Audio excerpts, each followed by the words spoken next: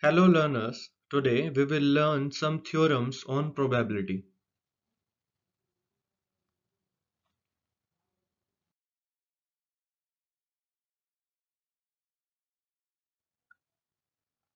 Addition theorem on probability.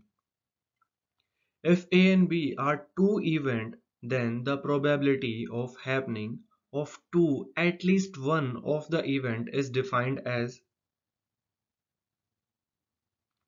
when events are not mutually exclusive. If A and B are two events which are not mutually exclusive, then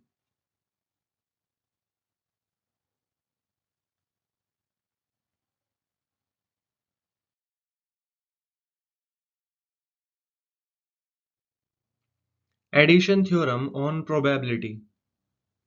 When events are mutually exclusive, then if A and B are mutually exclusive event, then we can use this formula. Now, when events are independent, if A and B are independent event, then we can use this formula.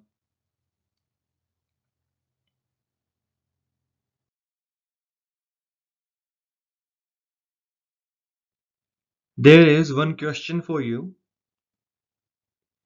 Consider a pack of 52 playing cards. A card is selected at random. What is the probability that the card is either a diamond or a 10?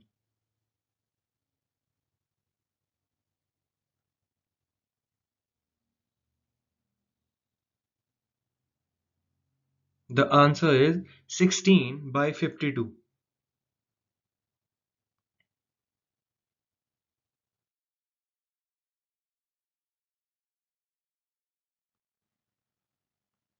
What is the multiplication rule for probability? According to the multiplication rule of probability, the probability of occurrence of both the events A and B is equal to the product of the probability of B occurring and the conditional probability that event A occurring given that event B occurs. If A and B are dependent events, then the probability of both events occurring simultaneously is given by the first equation. If A and B are two independent events in an experiment, then the probability of both events occurring simultaneously is given by the second equation.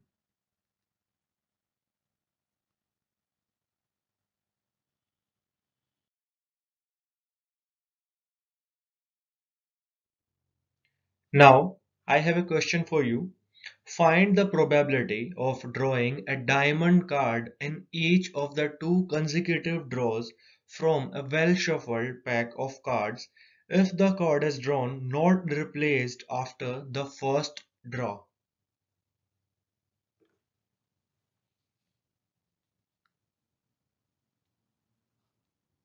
The answer is 1 by 17.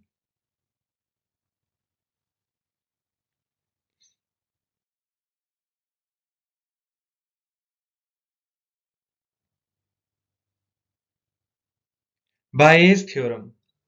Bayes theorem provides a principal way for calculating a conditional probability. It is a descriptive simple calculation although it can be used to easily calculate the conditional probability of events.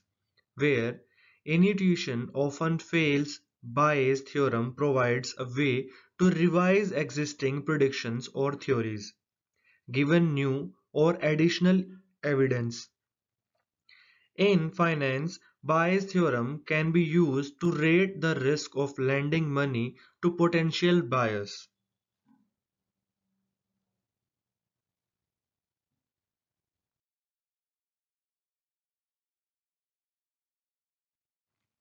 Let A and B be events with non-zero probability, then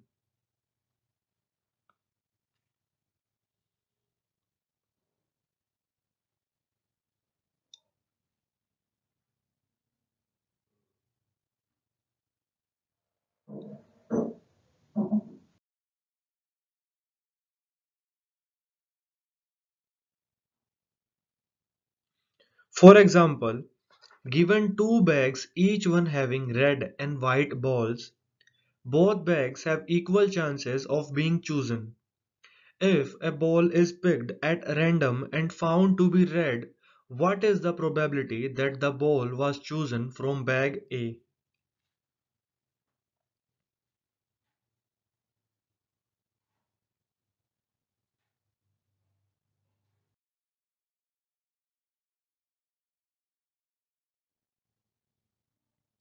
The total probability of red ball is 8 by 20 and the probability of red ball was from bag A is 3 by 8.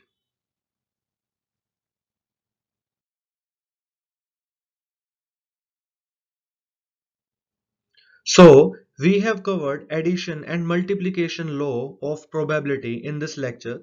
See you in next lecture. Thank you.